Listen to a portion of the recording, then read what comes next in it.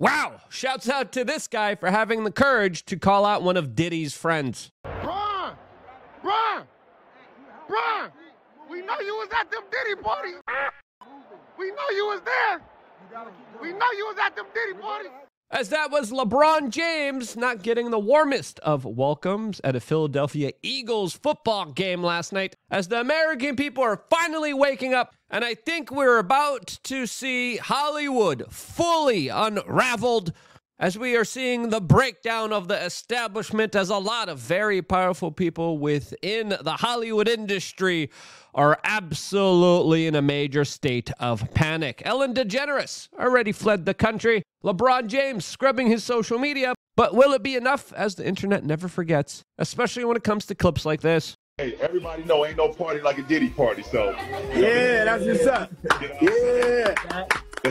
As wait, hold up. What's going on here is now we're finding out the details of a lot of these Diddy parties, and they include a lot of people being drugged, a lot of people being incapacitated, and then finding themselves in a bed surrounded by celebrities doing really absolutely awful, horrible things to them. As we have to understand here, what's going on here is finally the unraveling of some of the most sinister, evil actions by some of the biggest and most influential people in our society. A lot of these people worship these celebrities, but now we're finding out hey, hold on. These people don't deserve praise. These people don't deserve our support. These people don't deserve to have their names on our backs. FYI, if you do that, it's kind of weird though. As the Diddy story is getting more complicated and weirder than ever, as Sean P. Diddy Combs and his legal team today is comparing himself to Donald Trump. As Diddy previously had this to say about the former president that now his legal team is comparing him to.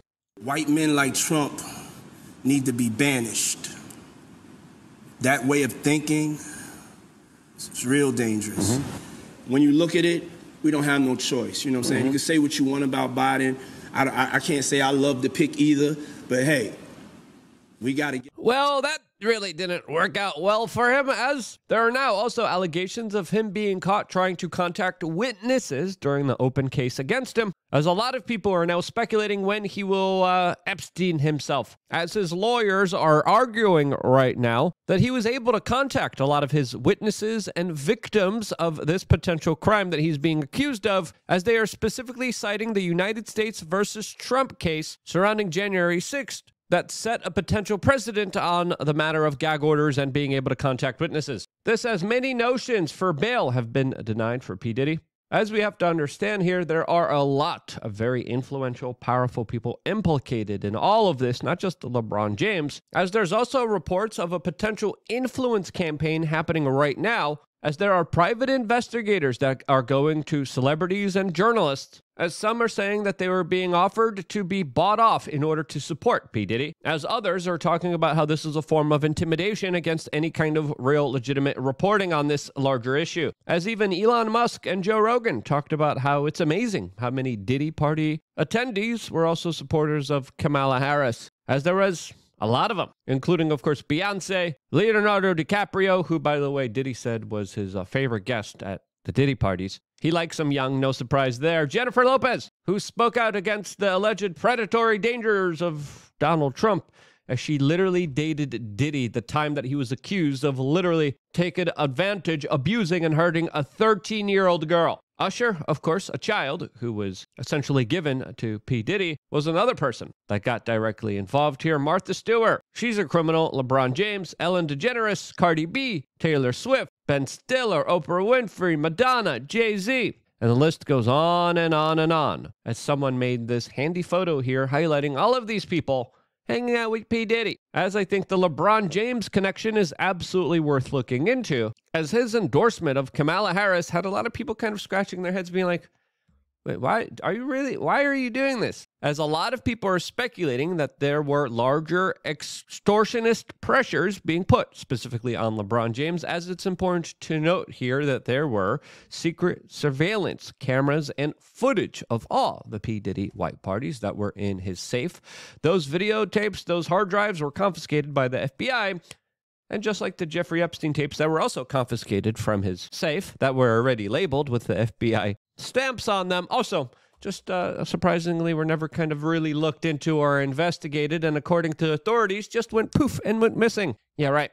As let's be honest here, there is a high likelihood possibility here that LeBron James could have been at these parties, specifically in the back room, if you know what I mean, doing potential really weird, freaky stuff. And the federal authorities and intel agencies that loathe Donald Trump and don't like him so much came to him and probably were like, hey, look, we have option A here, or we have a check with your endorsement and we're going to post some things for you on social media. What would you like to do here? As the actions from LeBron James afterwards do speak to that larger possibility unfolding here, as he has announced that he is quitting social media due to quote negativity, as a lot of people aren't happy with him officially supporting Kamala Harris and releasing some very weird messaging against Donald Trump. As a lot of people saw the video that LeBron James posted about Donald Trump as disingenuous, as fake news, as lies and conjecture against him, and a lot of the American people weren't buying it, as overwhelmingly the majority of Americans voted for Donald Trump. Those Americans are kind of pissed off at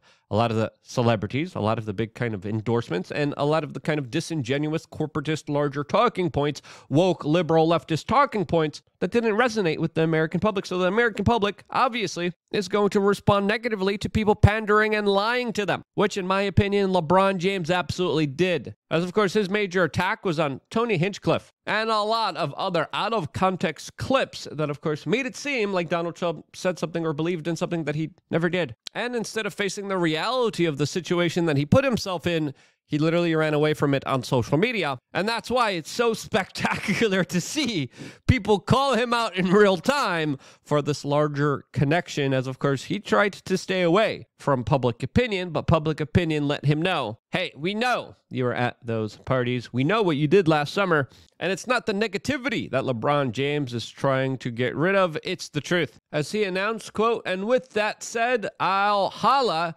at y'all getting off social media for the time being. Y'all take care. As this response from uh, John Root uh, pretty much uh, represented the sentiment from a lot of the people, as he said, bro, you called Trump and his supporters more than half the country segregationist, racist, and Germans from the 1930s when you endorsed Kamala Harris. You are perpetrating the division and the hate that is tearing this country apart. Maybe look at yourself in the mirror before shaming others for negativity, hate, and divisiveness. As LeBron James was also a big supporter of BLM and larger other DEI woke initiatives that have absolutely failed, like his I Promise School, which cost taxpayers $8 million in Cleveland, Ohio. And the results of it were that no eighth grader was able to pass a state math exam in the past three years. All of this, as a lot of other people are commenting, that uh, also LeBron has a very difficult time making it past uh, the first page of any single book. And I don't just mean to be dunking on this guy, but holy freaking cow, you made your own bed, especially by purporting some of the worst,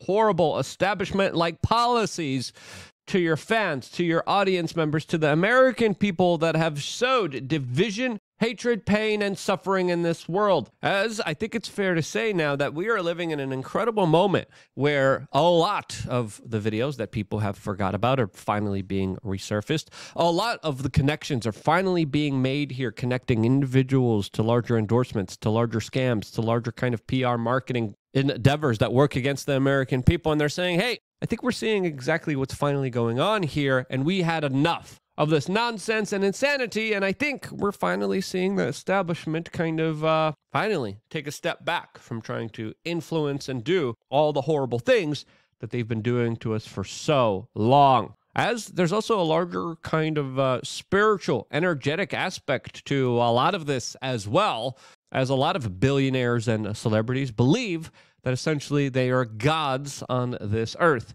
and deserve special treatment and that they are, quote, above the law. Well, I think the reckoning is finally coming where we are having an equalizing of society and average fans in Philly games could literally bring your whole empire of lies down just by simply being able to speak words at you that will go viral that the entire world will see as celebrities loved to be worshipped, as uh, more and more individuals are saying, hey, you know what?